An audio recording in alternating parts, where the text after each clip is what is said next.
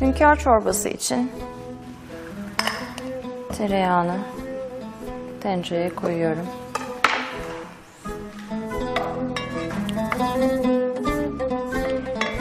Tereyağı erirken bir adet sarımsağı kabuğundan soymak için eziyorum.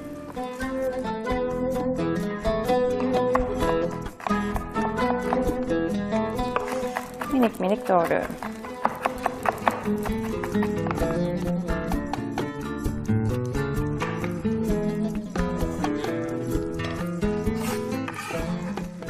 Eriyen tereyağının içine atıyorum. Bir adet defne yaprağı. Tereyağı eriyip sarımsaklar biraz kavrulunca havuçları ilave edeceğim.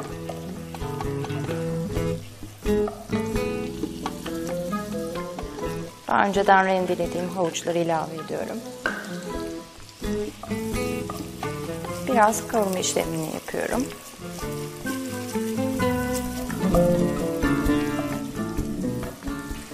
Daha önceden közlediğim ve limonla beyazlaştırıp minik minik doğradığım patlıcanları ilave ediyorum.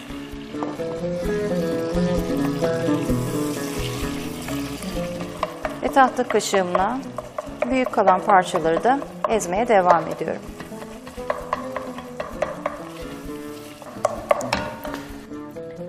Daha sonra 2 su bardağı tavuk suyunu ilave ediyorum.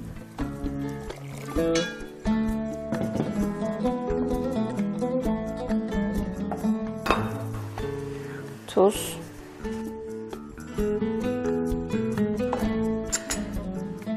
Karabiberini.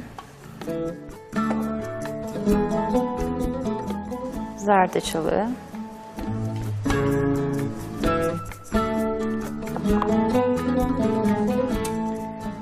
Ve bir çay kaşığı kadar da muskatı rendeliyorum.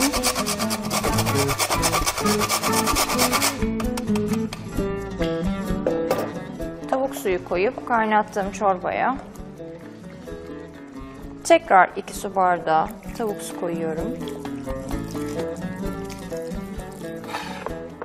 Daha önceden haşlayıp didiklediğim tavuk göğsünü de ilave ediyorum.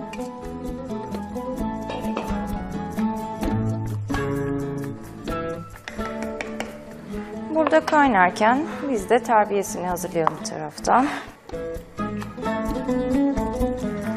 Yarım limon suyu.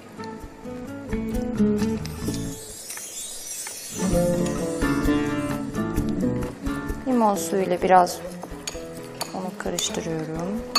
Daha sonra 2 yemek kaşığı yoğurt.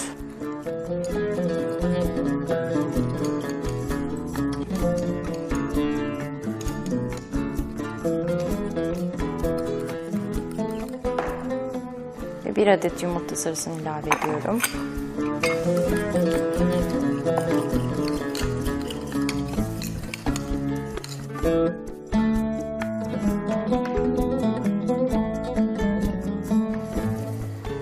Çorbamıza yavaş yavaş dökerek hızlıca karıştırıyorum.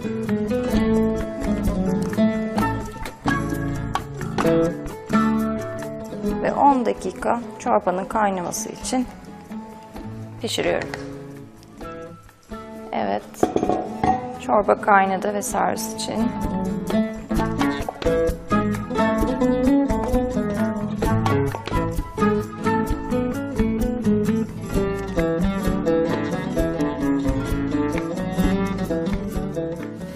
Hünkâr çorbasının üstüne ayrı bir yerde tereyağlı fesleğenli sos yaptım. Onu da üstüne döküyorum.